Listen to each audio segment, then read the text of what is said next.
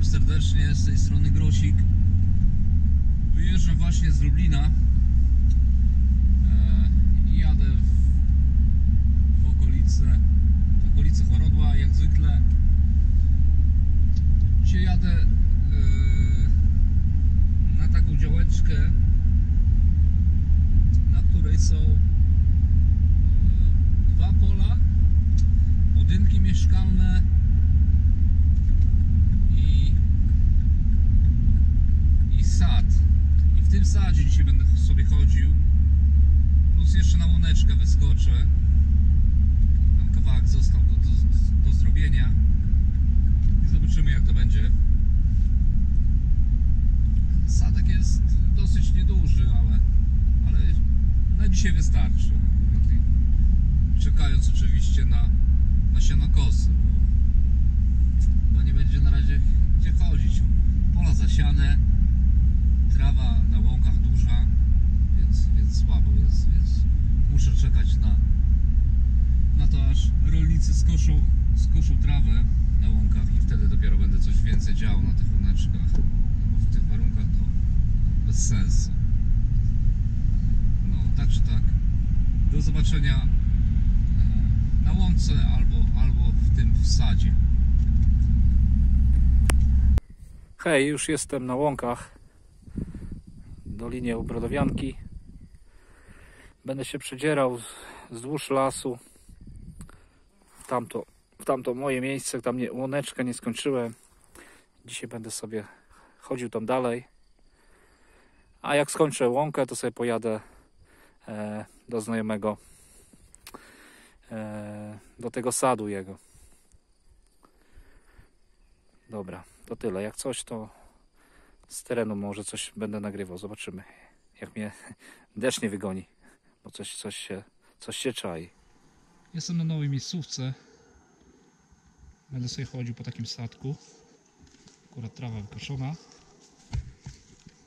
To jest część działki, którą, e, którą mam, ale na pozostałej części tej działki, jak widzicie, rośnie zboże. Aż tam do tamtych domów. Więc tutaj jest kilka hektarów, ale ale to dopiero będę robił w sierpniu, a tymczasem ten sadek będzie robiony. Mam nadzieję, że coś wyjdzie. Dobra, tymczasem do zobaczenia i e, pokażę co wykopałem na podsumowaniu. Myju, myju, tak? Robimy myju, myju, tak. Fanty myjemy, tak. No, myju, myju. Proszę bardzo.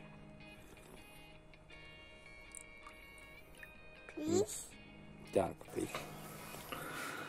Hej, tutaj Grosik. Jestem już w domu. Mm, Wyjazd, jak widać, nawet w miarę się udał, chociaż nie był, nie był planowany, ale pogoda e, była sprzyjająca, chłodno było fajnie i dałem radę. 10 godzin dosłownie siedziałem e, na, na, na tych dwóch miejscówkach, na łące e, i w tym sadzie i nakopałem, ale no jak widać militarka tam wychodzi w tym rejonie. E, Białoskór, Annopola. To nie Matcze, czy tam inne miejscowości e, nad Bugiem, gdzie więcej monet i guzików wychodzi. Tutaj, tutaj militarka e, króluje.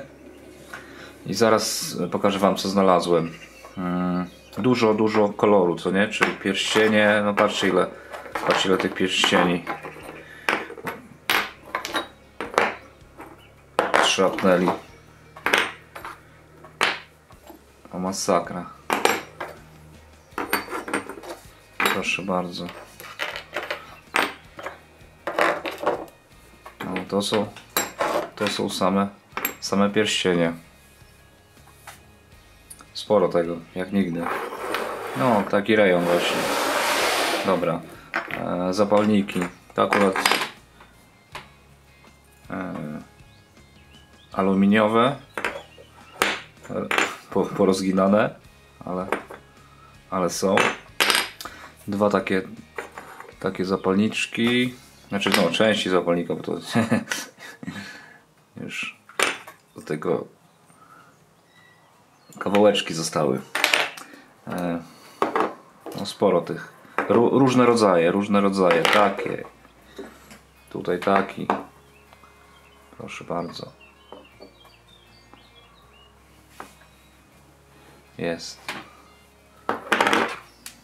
No sporo, sporo. To jest szal aluminiowy jakiś. Tutaj. Mi się wydaje, że to jest y, zapalnik od miny jakieś. Taki płaski bardzo. Muszę sobie poszukać tego, bo nie widziałem podobnego. Ale ciekawe. Szkoda, że nie cały. Przydałby się do kolekcji. No, ale na początek i taki taki z, złomek się e, przyda i będzie, będzie cieszył, bo nie mam takiego jeszcze. Mm, Tutaj takie dwie, dwie nakrętki jakby z gwincikiem, to chyba też od jakichś zapalników. O. Dobra. Tym razem tylko dwa szrapnelki, no słabo było. Trochę łusek, łuski nawet, nawet, nie, nawet nie myłem. E, troszeczkę łusek.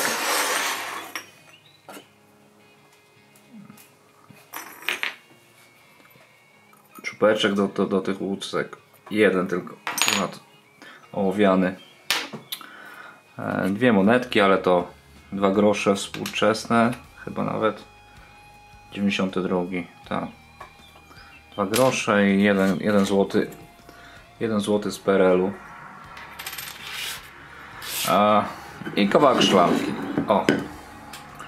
Tak by to wyglądało w tym tygodniu. No jak widać, sama militarka tam wychodzi.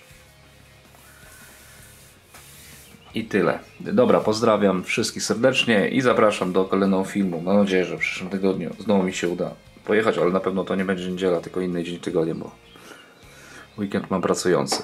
Pozdrawiam wszystkich. Mówił Grosik. Cześć.